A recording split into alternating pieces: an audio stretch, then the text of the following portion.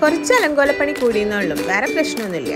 നമ്മൾ നമ്മളിന്ന് ഉണ്ടാക്കിയിട്ടുള്ളത് കാരമൽ കേക്ക് അല്ലെങ്കിൽ കാരമൽ പുഡിംഗ് എന്നൊക്കെ പറയാം. അപ്പോൾ അതിന് വേണ്ടി നമ്മൾ ആദ്യം ഷുഗർ കാരമലൈസ് ചെയ്യണം. ഷുഗർ കാരമലൈസ് ചെയ്ത് നമ്മൾ കേക്ക് ഉണ്ടാക്കുന്ന പാത്രത്തിലേക്ക് കുറച്ചിച്ചായിട്ട് ഒഴിച്ചു കൊടുക്കുക. അതിന് ശേഷം നമ്മൾ മിക്സിയുടെ ജാറിലേക്ക് ഒരു അഞ്ച് മുട്ട ഒരു കപ്പ് പാൽ ഒരു കപ്പ് പഞ്ചസാര പിന്നെ കുറച്ച് വാനില എസൻസ് ഒഴിച്ചിട്ട് നല്ലോണം ബ്ലെൻഡ് ചെയ്യാം. ബ്ലെൻഡ് ചെയ്തതിന് ശേഷം കുറച്ച് കുറച്ച് കഴിഞ്ഞിട്ട് രണ്ട് സ്ലൈസ് ബ്രെഡ് ഇട്ട് ഒന്നുകൂടെ ബ്ലെൻഡ് ചെയ്യാം.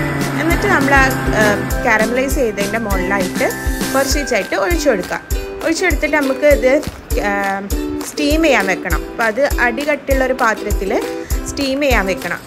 അപ്പോൾ അതിൽ കവർ ചെയ്തിട്ട് കുഞ്ഞു കുഞ്ഞു ഹോൾസ് ഇട്ട് കൊടുക്കുക. എന്നിട്ട് സ്റ്റീം ചെയ്യാൻ വെക്കാം എന്നിട്ട് കുറച്ച് കഴിയുമ്പോഴത്തേക്ക് നമ്മൾ കേക്ക് റെഡി ആയിട്ടുണ്ട്. ചൂട് തണിഞ്ഞതിന് ശേഷം ഒരു പ്ലേറ്റിലോട്ട് മാറ്റി നമ്മളത് സെർവ് ചെയ്യാം. അപ്പോൾ എല്ലാവരും ഒന്ന് ഉണ്ടാക്കി വെക്കുക സൂപ്പറാണ്.